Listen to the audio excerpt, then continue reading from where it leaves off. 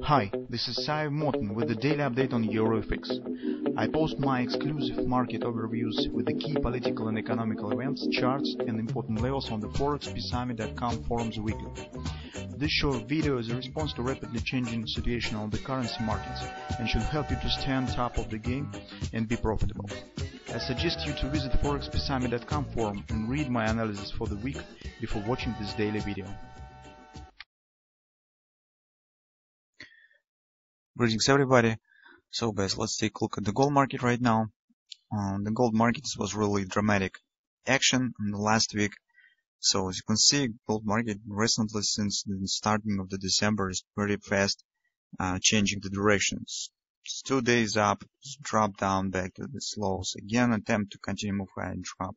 Here, just market has moved to the upside and shows some give some hopes to the bulls that market probably will continue to move higher and then later it has dropped significantly. So mostly erased all upward action until two weeks ago. So you can see it's very dramatic and nervous action in the market. Still, a major conclusion that we are coming to is that uh, gold market still keeps chances on upward action. So uh, on the daily chart, as you can see, the major indicator indicator here is our 1085 area. So while market stands above it and, and keeps uh, and, and, and coiling around it, it keeps chance on the further upward continuation. If market will drop below the 1072 area, that will probably mean that uh, bears will take the control of the market. So for the bears, it hasn't, nothing has changed since the last week. So they still continue to monitor for the 1072 area. As, as, as soon as market will appear below this level, they could start think where to take the short and how far market could drop. By, by, by, but uh, until market stands above this area and above, especially above the 1085, it's not the time for the bearish context yet. And the chance on upward action still exists. So what we have particular right now? Uh, first of all, we have the bullish grabber, guys, that has been formed on Thursday. We have discussed this month. Let's take a look. Here is we have the bullish grabber that suggests the taking out of this top at minimum. Last session was Friday, was almost inside session to the Thursday. And take a look, market has not reached the previous lows. So the grabber is still valid. Also guys, uh, I don't know, remember you or not, but when we have discussed this, just appearing of this double repo or this moment that has happened in one of our December researches, and we are uh, discussing how far market could uh, move based on this double repo pattern. We said that uh, if upward action will happen, here we have the reversal overbought right at the fib support, and probably after that market will show some retracement.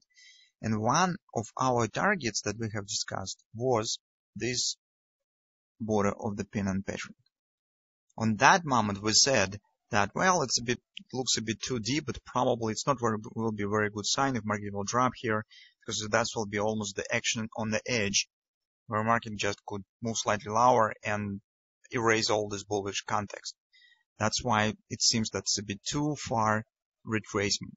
And it will be pre preferable if market will stop in 1085 and turn to the upside. That's what we have said when we are discussing this double repo. But take a look, guys, in reality, what really has happened market indeed has retested the lower border, the upper border of this pennant pattern. This could explain why market has dropped significantly. And uh, this could be really deep for some other markets, but that's just how the gold works, just how gold market moves. It likes to retest broken, important broken lines, bottoms and tops. So that's why taking in, in, in consideration this moment and by taking a look from that point of view on this retracement down the 1072 it just confirms the idea that probably nothing has lost yet for bulls and market really could continue move higher. That's very important moment for us. Now, so uh, currently we will not speak on the bearish scenario because we just uh, decided that uh, uh, only below the 1072 area we will start to think about the taking the short position. Until this will not happen, bears just will wait when this will happen. And you have, if you have the bearish view, you could ignore the all other moments that we will say right now and the other time frames on the 4 hour time frame chart and hourly chart.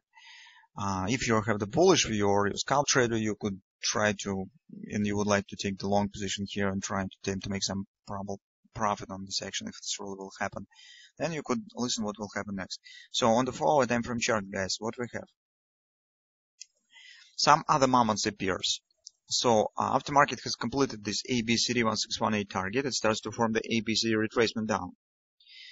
And uh, on two last uh, sessions on the previous week, what we have, market has dropped right to the 1618 target. In fact, we have anticipated it because market already was below the 100% extension. and said it's really high probability that market will drop lower. So it has hit the major support area. That was the weekly pivot support one last week. 1618 extension of this ABCD pattern and major 618 support from the bottom, from this low. This very important area. That's particularly, guys, our invalidation point, as you understand. So we have two another bullish signs, except this strong support.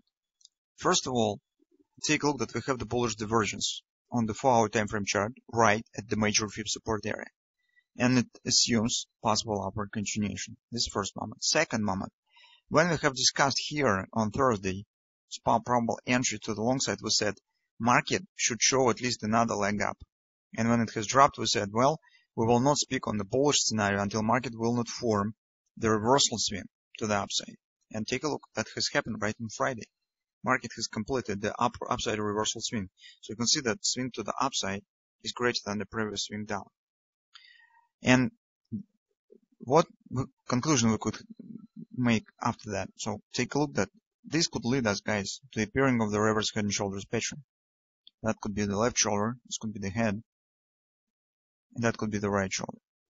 So as market has erased not just reversal swing, it, it, it has formed not just reversal swing, but take a look, it has erased significant plunge down. The market opens, opens at the high, drop right, right down, closed at the bottom, and this really nasty candle has been erased on Friday action.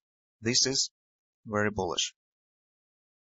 That's another reason why we think that chances still exist on the further upward continuation. So here we will be we will monitor for the possible reverse head and shoulders pressure. And uh, as a result, how we could play this combination. So on the hourly chart, guys, this has, this leads us to conclusion that we're mostly interested only with this rally. We do not need any other swings on the four-hour time frame chart on the daily chart. Why? Because that, in fact, invalidation point of the bullish scenario. If market will drop lower, it will erase this head and shoulders, it will erase bullish grabber, it will drop below the major support area. So it will erase all bullish context. That's why we interest, we're interested only with this resistance. This also gets, by the way, the bottom of the head this picture. Now, if we will um, talk on the possible retracement target, so uh, we think that the 1081 is the most attractive point by two reasons. First reason is because if we are falling to the head and shoulders, market should keep the harmony of this pattern. And theoretically, it could show the same retracement down, 618, to match the bottoms of the shoulders. Second reason is the reversal swing. When the market forms a reversal swing, in most cases, it shows deep retracement. Sometimes it's a BCD retracement, sometimes it's just deep retracement here. Uh, but the chance on the deep retracement is significant. But here's some tricky moment that on the way down, we have the weekly pivot point and we have the confluence support around 86 area. How we could manage the possible entering long here, right? Some scenarios exist how you could do this. The most simple scenario is just wait, just do nothing as we said and wait 1081. This is most simple way to act.